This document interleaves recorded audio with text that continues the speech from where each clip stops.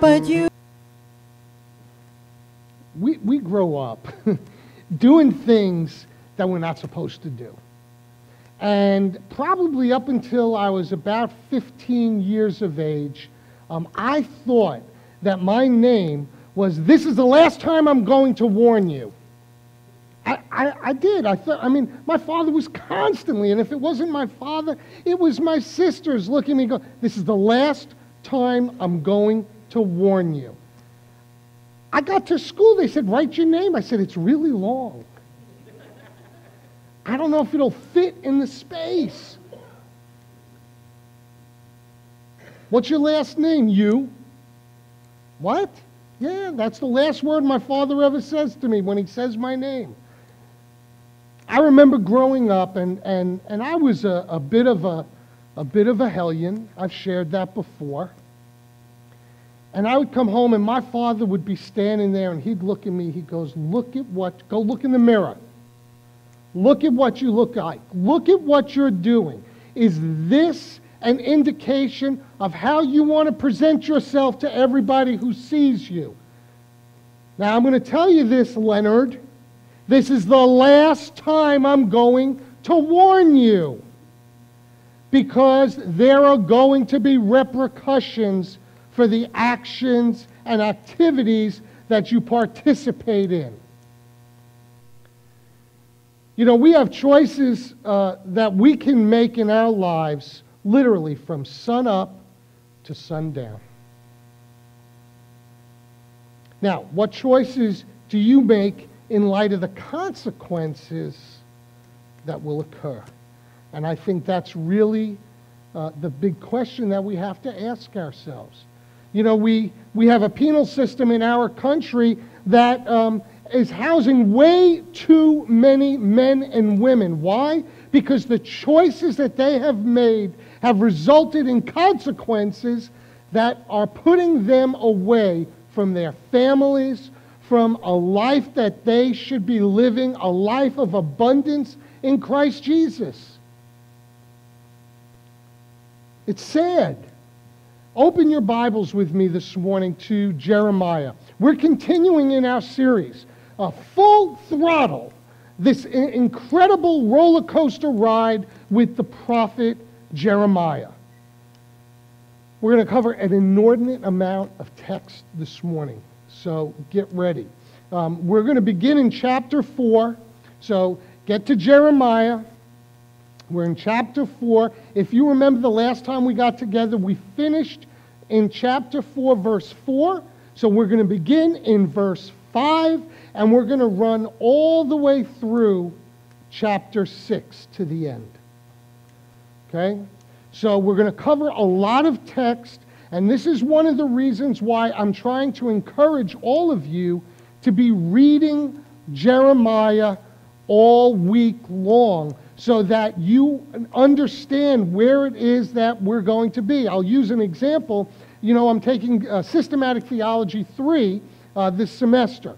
My professor has us do all this reading prior to the lecture so that when he gets to the lecture, we know what's going on. That's what I'm asking all of you uh, to do. Uh, pray for me because I didn't do well on my test yesterday. I was very disappointed in myself. I, I don't know what I was thinking.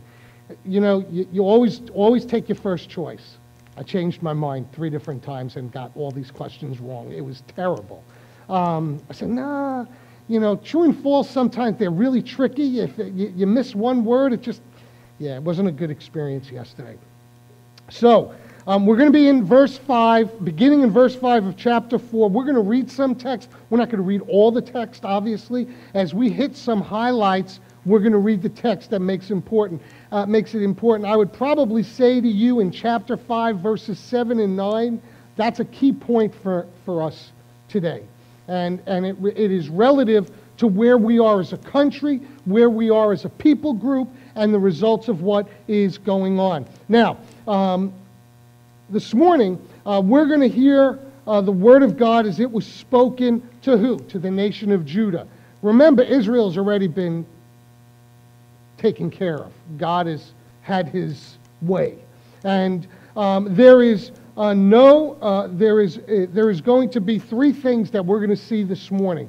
There is going to be warning, a reason for the warning, and the judgment that will come after the warning.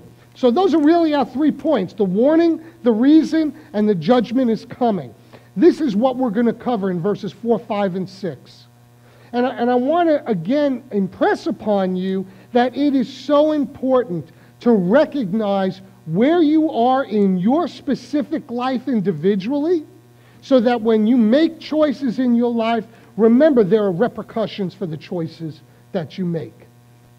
So, um, as we go, listen, the last time we were together, last week, we, we had a great weekend of baptism and we talked about missions and, and just the importance of what it means to bring the gospel, right?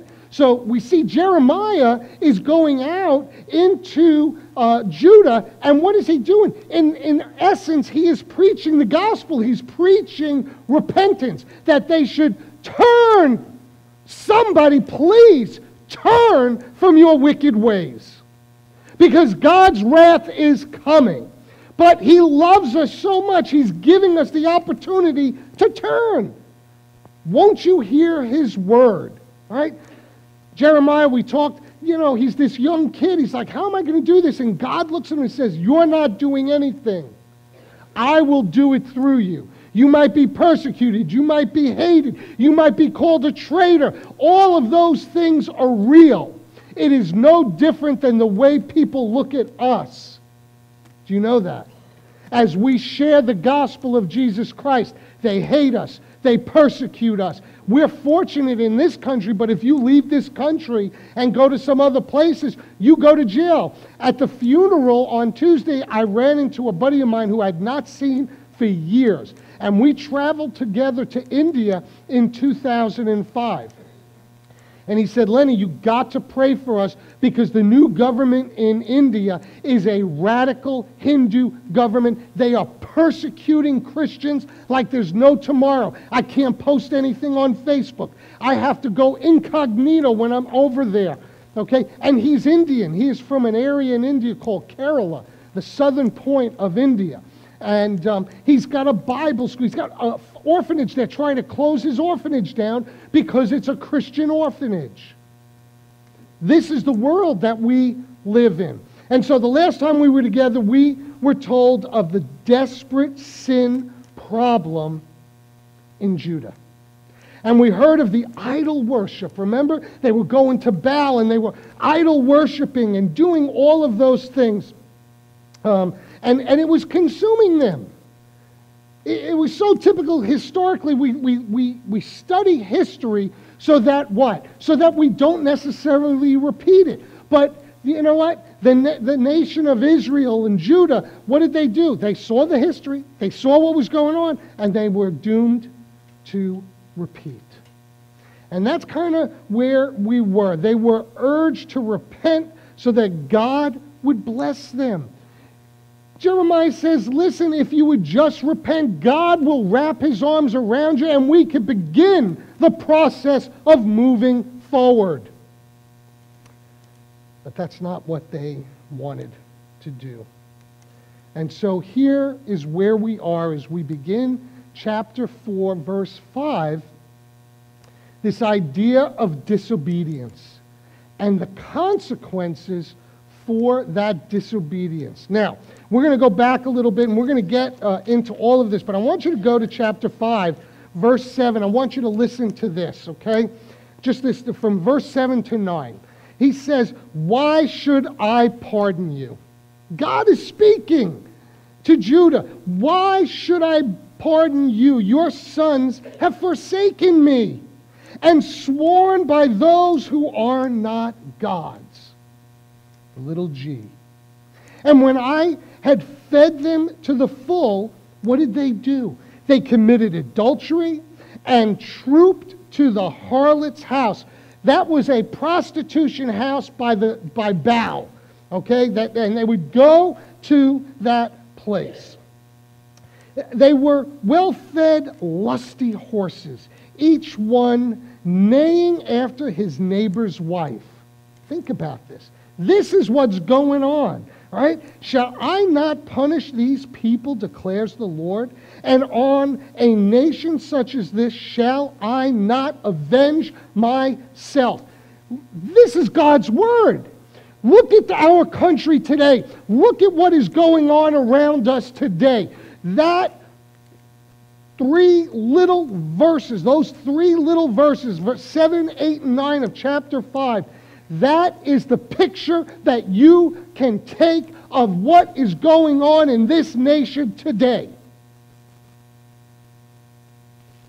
For a second, I was scrolling and I saw a roast that they were doing for Alec Baldwin.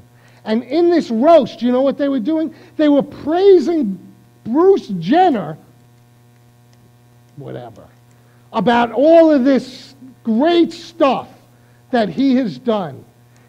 That is exactly what God is talking about in verses 7, 8, and 9 of chapter 5. So let's take a look. Let's go back for a second now to chapter 4 as we look through this. And here is the warning. He gives us a warning. In verses 5 and 6, in 5 and 6, he says, The alarm is being sounded. He gives people notice. If you don't think God is a God of love, then we got to take a step back and reevaluate whether or not you call yourself a Christian. And I, am being dead serious. Because what, what the world wants you to believe is that he's a God of hate, right? Oh, look at what I'm going to do to these people. I'm going to smite them. I'm going to punish them. I'm going to. Why would he let the flooding of Imelda happen? He didn't know let that happen. It happened. You know, why are all these people in jail? If we, if we served a, loved a loving God like you talk about, why are all these people incarcerated? Look, he didn't put them in prison. Did he? Listen to what he says in verse 5. He says, Because of the evil of your, I'm sorry, verse 5, declare in Judah and proclaim in Jerusalem and say, Blow the trumpet in the land, cry aloud and say, Assemble yourselves and let us go into the fortified cities. Lift up a standard toward Zion Seek refuge, do not stand still, for I am bringing evil from the north and great destruction. He warns them. He warns them. But you see, he gives them a way out. God always gives us a way out. He says, Look, here's what's going on. This is what you've been doing. Okay? If you don't change your ways, this is the last time I'm going to warn you. That's our sermon title today. It's the last time I'm going to warn you. But he gives, eh, gives all of us every opportunity to turn from our wicked ways. Right? What does it say? and we'll get to it. I'm jumping ahead, but in Second Chronicles 7:14, right? If my people who are known by my name would turn from their wicked ways and seek my face, then I will hear them from heaven then I will hear them from heaven. So the alarm is being sounded.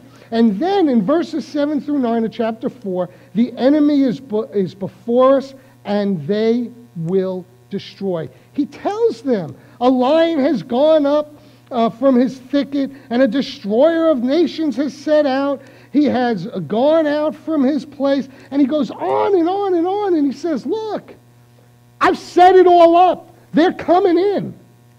So you better stand up, blow the trumpets, and figure out a way to get out. Well, what's the way to get out? What do we say to people who we know are not believers? Here's the way out. Here's the, out, the way out from destruction. The way out of destruction is through Jesus Christ.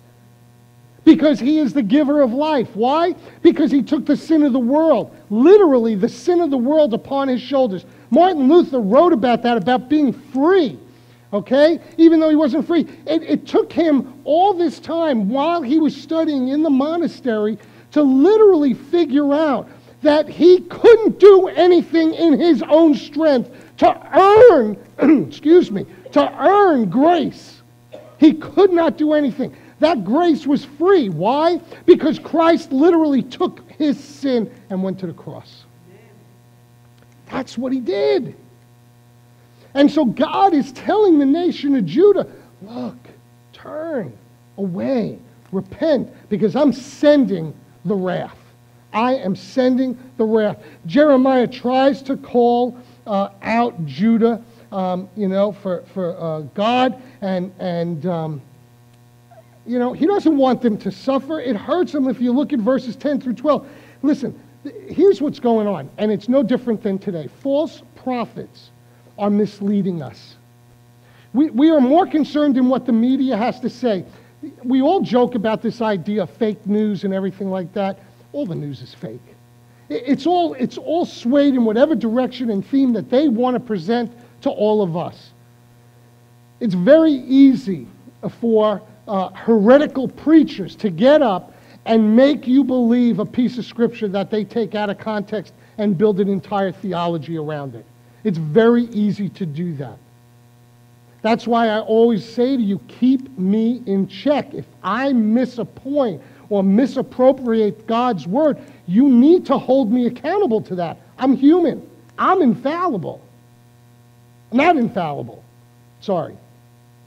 I'm not infallible, right? I make mistakes, right? So he says, listen, in verse 10, Jeremiah complains. He, listen, he says, Then I said, Oh Lord God, Surely you have utterly deceived this people in Jerusalem, saying, You will have peace, whereas a sword touches the throat. He says to God, he complains, he laments. Why, did, why is Jeremiah the weeping prophet? We, we're going to see. I mean, he's known as the weeping prophet. He cries out. God says, Listen, I'm not, I'm not doing anything. You know, I still love you. I, I, I still want you to be my people but there are consequences for the decisions that you're making. it is this idea in verses 11 and 12, this idea of, of this ensuing judgment that is taking place. And it's scary. And, and it's scary for us. I, I'm going to keep going back and forth in terms of who we are today as a nation, who we are today as a group within the confines of Sawdust Road Baptist Church. Why? Because if we are not serving the Lord the way that God has called us to serve the Lord, there are repercussions for what it is that we do. Now, you might say, well, that's not the loving God that I know about. That's not what the, those preachers talk about. God wants the best thing in the world for you. Of course, He does. But if you're acting against God, what do you think He's going to overlook that? When, when I went against my dad, you think He overlooked that? When you went against your parents and didn't listen to what they had to say, did they, were there repercussions for the actions in which you took? Some of you were angels, I know that. Never made a mistake. Never.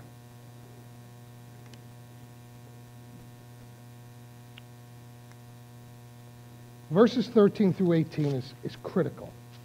L- listen to this. He says, Behold, he goes up like clouds, and his chariots like the whirlwind. His horses are swifter than eagles. Woe to us if we are ruined. But verse 14 Wash your heart from evil, O Jerusalem. Wash your heart from evil, O Jerusalem. Repent! Repent and know that God will forgive you. Because he is a loving God. He says, he says uh, uh, repent basically that you may be saved. How long will your wicked way, uh, wicked thoughts lodge within you? We live in a country today that is in the midst of wicked ways. How long? Do you think for one second, just like Judah thought, we got nothing to worry about. God loves us. We're, we're chosen, right? I spent my entire life and, and most part of my adulthood believing that I was one of the chosen people. It didn't matter what I did, I was good to go. Well, yeah, until he showed me how what could happen when you turn away, when you are not following what God would want for you. And he gives them the opportunity. He says, if you would turn from your wicked ways, you'll be saved. You will be saved. Listen, in verses 19 through 22, it is this incredible lament of Jeremiah. And then you get the Lord's uh, response. And, and in these verses, this is really the cross that Jeremiah bears, right? Uh, he says, My soul, my soul, I am in anguish because he sees what's going to happen. He understands the movement that God is making. Why? Because God is talking directly to him. He is speaking through him and to him to who? To the nation of Judah. And he goes and sends him into Jerusalem, no different than he sent Jonah into Nineveh and said, just go through the streets and preach repentance. The difference is those in Nineveh believed and he spared them. Those in Judah did not. And that's a problem. And he goes on, he says, uh, uh, uh, uh, My heart is pounding in me. I cannot be silent because you have heard, oh my soul, the sound of the trumpet, the alarm of war. He's warning them. That's how much he loves them. Even in the midst of their disobedience, God says, I, I'm going to warn you. This is the last time, but I'm going to warn you. My father would shake his finger at me. It's the last time I'm going to tell you. What's going to happen if you, if, if you have to tell me again? And then he would break out the belt and he'd snap it. Okay, I get the picture. And, and I didn't want to have the welts that could apparently get there. In verses 23 uh, uh, uh, through 31, he says, You will feel my hand upon you. Listen, if you don't get your act together, if this nation does not get their act together, has nothing to do with the political movement in this country. That's not what I'm talking about. Because whoever is in, in, in uh, political authority is going to be in political authority. It does not change who we are in Christ Jesus. It does not change the message that we have been charged to go out and bring to the, to the lost of the world. Whether it's a Democrat, a Republican, a socialist, it doesn't matter. They are not the gods. Okay? There is only one God. And that was the problem that Judah was having. They, they, were, they were going after all these other gods that were human gods, that were made up gods, that, that were perishing. And they forgot about the only living God, the one who truly gave them life. And so sin and rebellion against God leads to what? To darkness and chaos. This uh, verse 23, basically 23 through 26, what it does is really pretty amazing. It almost gives you a reversal of Genesis 1. He's if you read it, right, and you go back to Genesis 1, uh, in the beginning, right, he, he, makes, he makes the heavens and the earth. Well, here he talks about, I looked on the earth and behold, it was formless. If you go back to Genesis 1, he says the, the uh, things were formless, but I gave them form. Now he's taking it away. He's being very clear, right? He, I looked at the earth, and behold, it was formless and void, and the heavens, and they had no light. In Genesis, he talks about giving light. But Judah has been so disobedient, he's, he's taking it all away. He's taking it all away. The world that we live in is no different.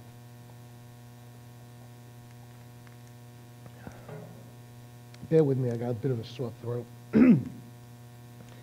And so um, destruction, destruction is happening, but God's love will never forsake them. In verses 27 through 31, for thus says the Lord, the whole land shall be a desolation. Here's the key in verse 27. You ready? Yet I will not execute a complete destruction. I'm going to punish you. There are ramifications for the, for the choices that you have made but I'm not going to completely destroy you. See, different. So you, you remember when I think Saul goes, I think it was Saul goes out and he says, Listen, I want you to kill everybody. I want even the animals. I want them all dead. I want his family dead. I want his animals dead. I want him dead. And Saul takes it upon himself and says, eh, you know, there's a couple of good calves here. I, I want the, this, the king to remember, you know, what I did to him, right? He's very upset about that. But when God says, I'm going to destroy you, but yet I will leave a remnant, I will leave a remnant, and I will take them to the next level. But I'm going to have to purge. It's basically what's going on, right? So destruction is happening, but God's love will never forsake them, nor will it, He forsake us. So when people come up to you and say to you, if your God is such a loving God, my God is a loving God. I'm still here. And I still have breath to be able to share the love of who He is. Don't blame God for choices that you made. You made those choices. So here's the reason, right? Chapter 5, verses 1 through 31. Here's the reason.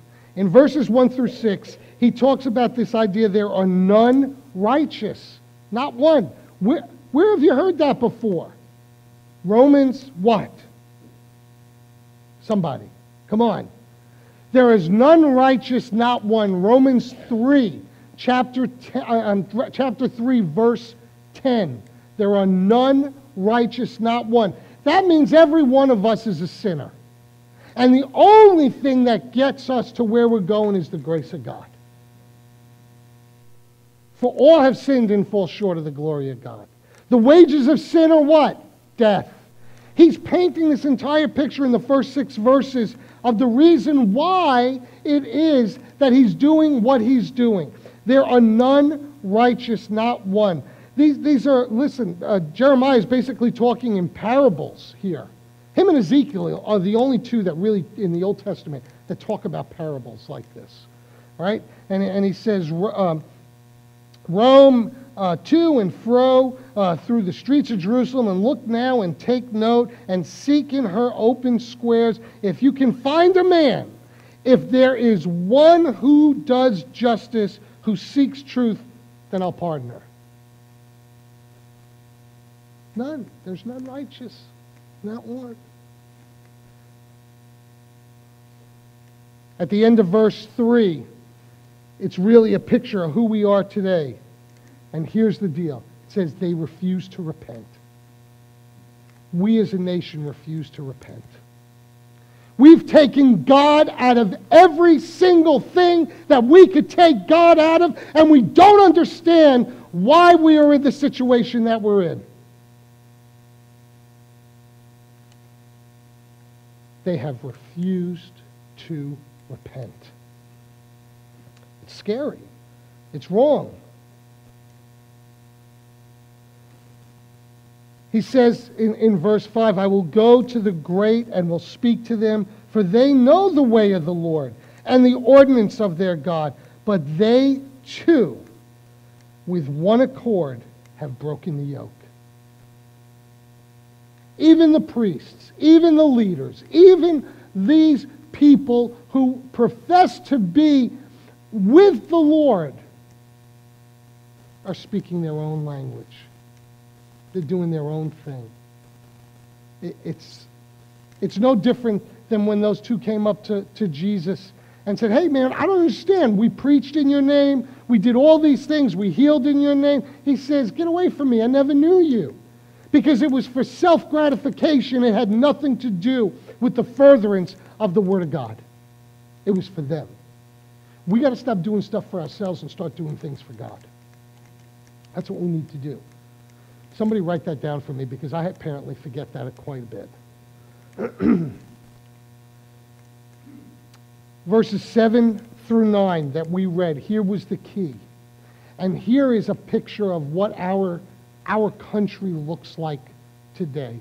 It is a country filled with immorality, and it's everywhere. It's everywhere. You think that God is not going to come down and do something to this nation because we're the United States of America? Look at what he did to the people that he has a covenant with. You think he's not going to tell us and show us and punish us the way that we deserve to be punished? Turn from your wicked ways, repent, and call upon the name of the Lord, and you will be saved. That goes for everybody. Everybody. It doesn't matter whether you think, well, that's all good for you. I got plenty of friends and family that say, Lenny, I'm really glad that's good for you. No, it's good for everybody. It is the only thing that will save you. It is the only thing that will keep you from eternal darkness. That's it. And so we move forward and we say in verses 10 through 18 the enemy has been given permission to destroy, but to not do it completely. Again, God says, I'm giving them permission to come in. Not only am I giving them permission to come in and to destroy you, I'm going to send you to a nation that's going to lord over you, and they're going to speak a different language than you speak, so you can't even understand. It's going to make life absolutely miserable for you. Don't think it can't happen. Israel and, Israel and Judah in verses um, 11 through 13. Israel and Judah scoffed at Yahweh. L- listen to this. Um, he goes, For the house of Israel and the house of Judah have dealt very treacherously with me, declares the Lord. They have lied about the Lord and said, Not, her, not he. Misfortune will not come to us. No way. Look it, it's us. Come on. You sit here this morning, and, and, and many of you are nodding your heads and, and all of that, but you're going to go home. You're going to turn your television on. You're going to get on the internet, and you're going to go about your day. Might do a little shopping, and you'll, you'll be fired up for 20 minutes that you're here, but what? You go about your life. And God is saying we have to do this 24 7. We have to do it 24 7. In verses 14 through 18, the words of Jeremiah would wreak havoc on the unbelieving people. Havoc. This is what's going on as you look at this. Uh, Therefore, thus says the Lord, the God of hosts, because you have spoken this word, behold, I am making my words in your mouth fire.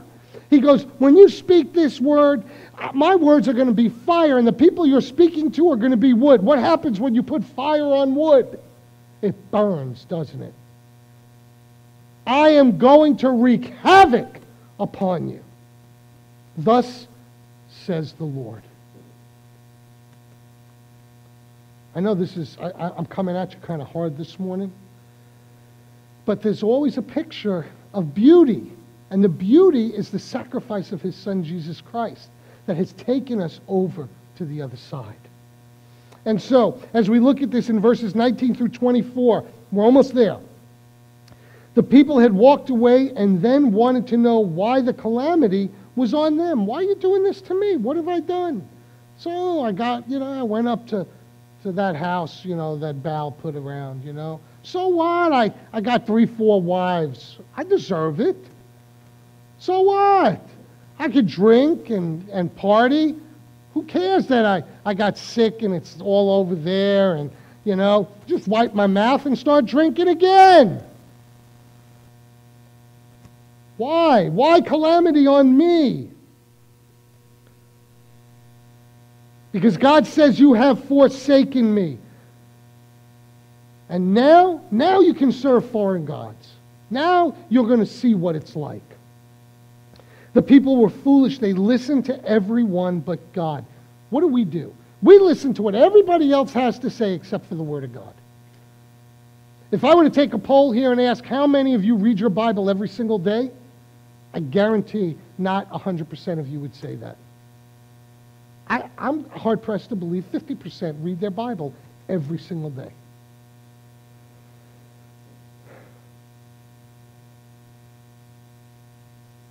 There is going to come a time when you're not going to have your Bible to read. And if you don't know the Word of God and, and, and impart it onto your heart, you- you're, you're gonna, it's gonna be a sad, sad day. The people were foolish, and it's sad because that's where we are. And then in verses 25 through 31 of chapter 5, he says this There is great injustice among my people. Not only are we forsaking God, we're not even treating one another like we should be treating one another. There's, there's this incredible amount of social injustice that's going on in our world today. I'm not talking about giving things to people that don't deserve. I'm talking about taking care of our own. We got to take care of one another. Jesus was very specific. Love your God with all your heart, your mind, your soul, with every fiber of your being, and do what second? Love one another. And God is talking to the nation of Judah and says, You're not loving one another. What's wrong with you? I've loved you from the beginning of time. I made a covenant with Abraham in which I have given you the keys to the kingdom, and, and you do, you're not doing the right thing. Do the right thing. Do it. There were corrupt leaders, there were false prophets. It is a shame, but this is the world as we knew it then. It is the world as we know it today. So here's the reason. That's the reason. He goes and gives them warning. He gives them a reason. Now we're going to see the judgment. What is this judgment really going to look like? There are 52 chapters in the book of Jeremiah. We're just in chapter 6 right now. And if this doesn't curl your hair, Jacob excluded, but if this does not curl your hair, I don't know what will. I, I don't know what will. The judgment is coming. Look at this.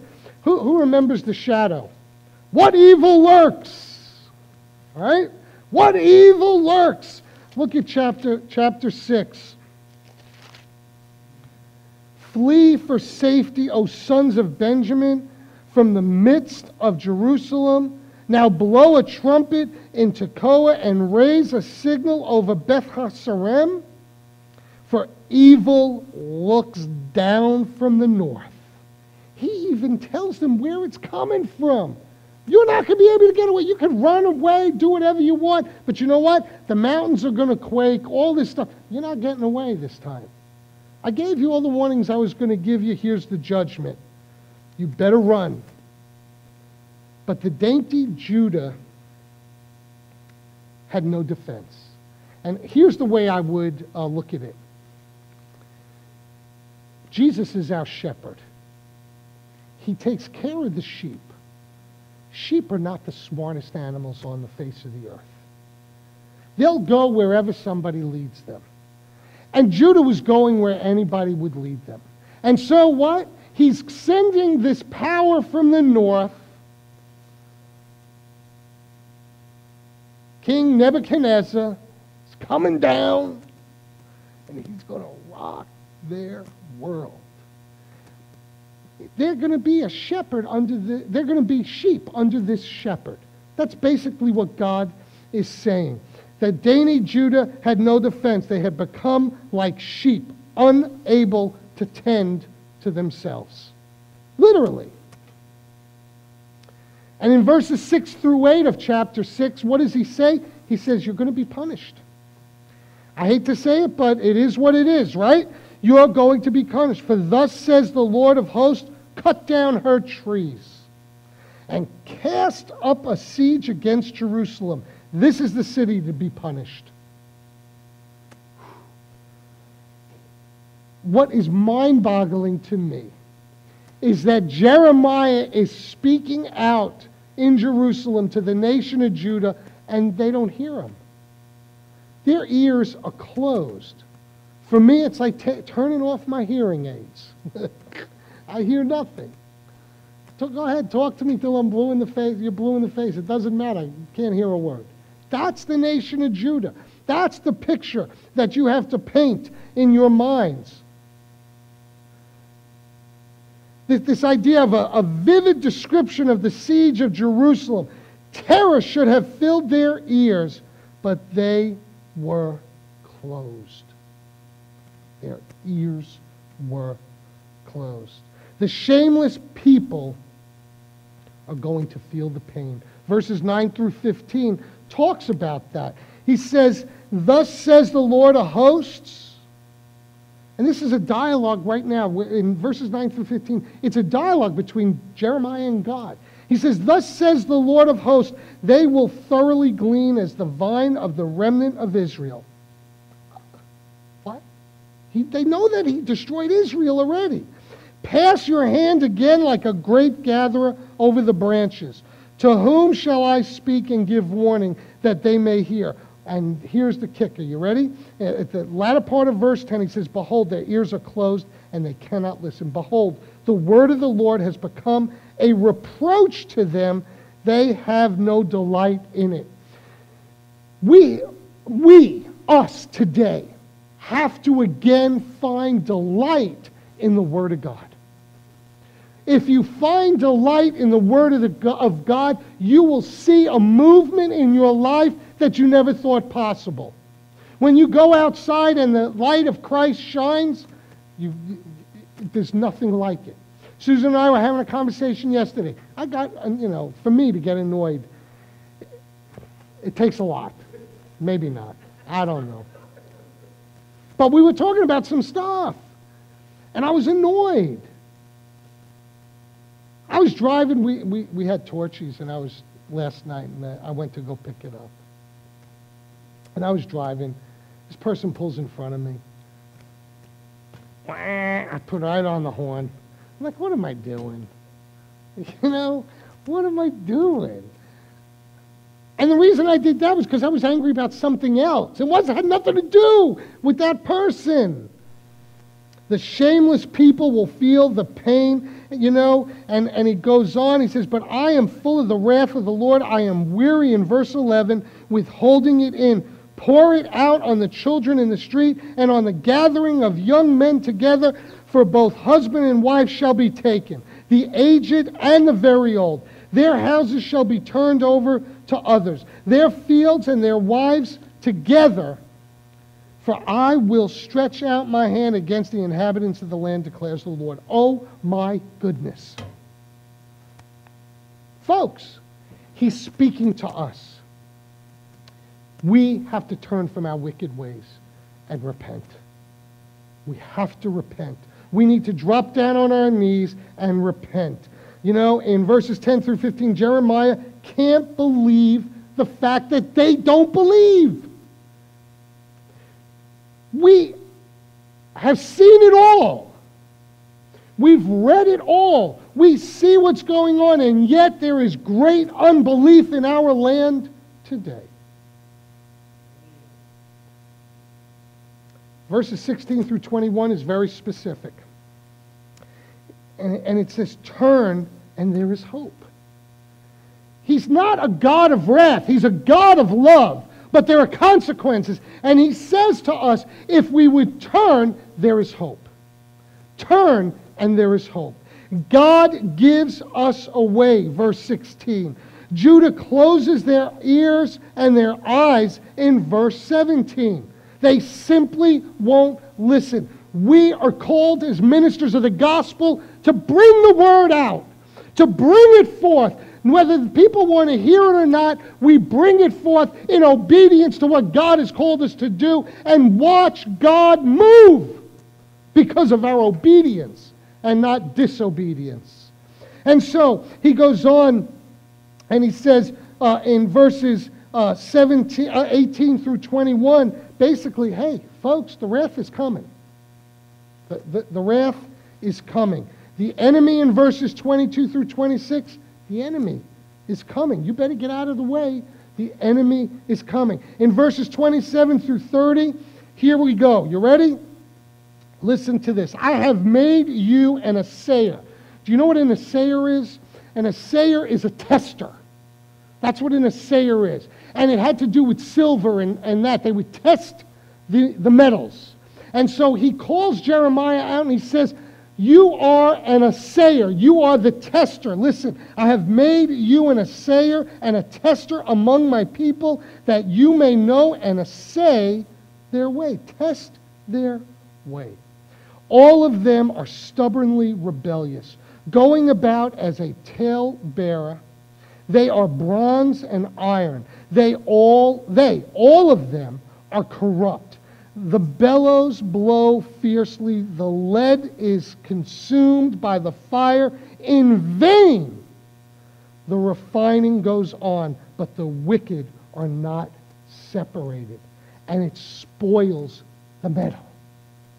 They call them rejected silver because the Lord has rejected them. Judah closes their ears and their eyes. The wrath is coming. The enemy is coming. The thankless job of the prophet. It's Jeremiah's job. It is our job, not that we're prophets, but it is our job to go out and share the good news. And, and part of that good news is making people understand that there are consequences for not choosing to be with Christ. Christ made it simple in John 14, 6. I say this verse, you should have it memorized by now. I am the way, the truth, and the life, and no one shall come to the Father except by me. That's it. You want gospel? There's the gospel. Repent and believe unto Jesus Christ, and you will be saved. Confess with your mouth, believe in your heart that Jesus lived and died, and God rose him up on the third day to do what? To sit at the right hand of the Father. You will be saved. I close. The problem is this the people would fall short. The people would fall short. The people here will fall short. Like children being warned by their parents, God is warning us in the same way He warned Judah.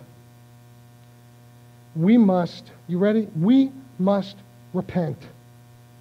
We must repent and turn from our wicked, deceitful ways and call on Jesus for salvation. There is wrath for those who reject the Savior of the world. There is no turning back. There is no excuse. There is nothing left anymore. You must turn from your wicked ways or you will not be saved. But oh, the joy of salvation. Oh, the joy of a loving God who sent his Son to be the propitiation uh, for us the sin offering. He made him who had no sin to do what? To be sin for you and me. That's the glory of the message of the gospel that there is a way out. Open your ears, open your eyes, open your hearts to the loving God who has promised you eternity. That's my God. If you have never asked Jesus Christ to be your Lord and Savior, Maybe you think you have. Maybe today is actually the day of your salvation. Perhaps today is the day that you take that information that you've had in your head and you transfer it to your heart and watch the transformation of the living God take you from darkness into the light. Stand with me, won't you? Russ, Jack, we're going to have a time of reflection. Oh, the joy of the gospel of Jesus the Christ. Father, right now I pray for this church. I pray for uh, those who are not here today. I pray for those who perhaps were watching this morning that they might hear the word, the word of the living God who gives us a way out. That if we would turn from our wicked ways and repent, that the love of Christ would come into us and we would be saved, that we could literally walk out of darkness and into the light. Father, how I pray for each and every person here this morning as we continue in our time of reflection for those who might call upon him.